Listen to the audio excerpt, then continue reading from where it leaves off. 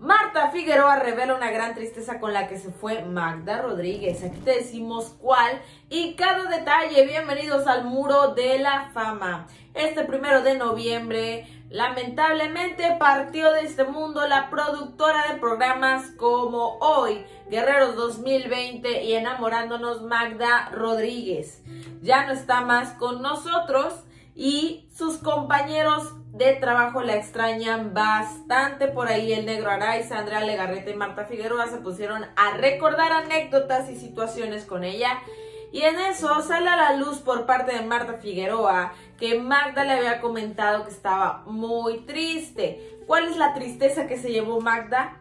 Fue no poder ganar los previos TV y novelas. Ella quería ganar con el programa de hoy como pues mejor programa de entretenimiento. Lamentablemente les, bueno, lamentable o afortunadamente, la verdad para unos lamentable, para otros afortuna, ganó, pues me caigo de risa, la neta, programazo. Incluso Andrea Legarreta lo dice.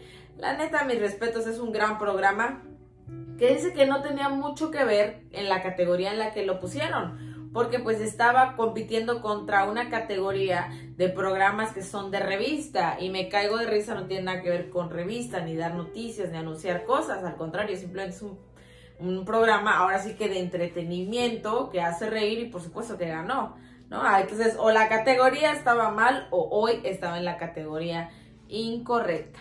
También pues comentaron que Magda Rodríguez no conocía un no. Ella siempre estaba dispuesta a aceptar un sí de lo que fuera, ella fuera de los invitados, procuraba lo mejor, ¿no? Que si el invitado le decía, oye, me voy a sacar las muelas del juicio, pero te grabas, ¿no? Y que por ahí decía, oye, invité a Cristiano Ronaldo aquí al, al programa. Y es como de, ah, ok, no dijo que sí, pero yo lo invité, ¿no? O sea, ella no perdía nada y decía, él no, ya lo tengo asegurado.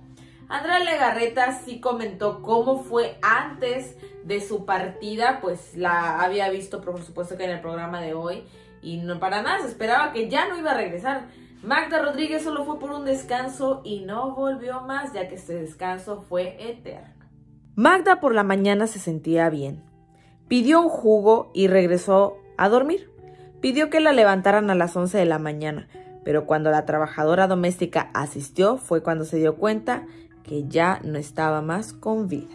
Esto no los comparte Andrea Legarreta y bueno, ya para cuando volvió la empleada doméstica, lamentablemente Magda Rodríguez se encontraba completamente sin latidos. ¿Qué sucedió? Que le, le dio un shock hipovolémico. En este caso sucede cuando pierdes demasiada sangre, cuando hay un gran porcentaje de disminución de sangre en tu cuerpo. Sin sangre no hay buena oxigenación sin buena oxigenación, pues tu corazón no late bien. De hecho, pudo haber tenido incluso una taquicardia muy fuerte antes de cerrar los ojos para siempre. Y pues esto hace que tus órganos internos rápidamente se dañen y ya no funcionen más al no llegar la oxigenación correctamente por todo el cuerpo. Se dice que tenía una úlcera que probablemente pues de ahí empezó todo el sangrado del tubo digestivo y no lo, no lo soportó, ¿no? Otros pues dicen que simplemente tuvo un paro cardíaco, otros que tuvo un, en este caso un shock, pero hipoglucémico. Entonces, lo, lo que más tendría que ver o lo que más coordina con sintomatología y con lo que sucedió en este caso con Magda es el shock hipovolémico. Bueno, se sigue lamentando su pérdida, pero al menos fue recordada con mucho cariño y mucho entusiasmo por parte de sus compañeros. ¿Qué opinas de todo esto? Déjamelo abajo en comentarios. No olvides seguirnos en nuestra página de Facebook y aquí en el canal. Suscríbete, activa la campanita de notificaciones para que seas de los primeros en enterarte qué está pasando con los famosos. Este es el Muro de la Fama. Yo soy Claudia Bigman y nos vemos en otro video.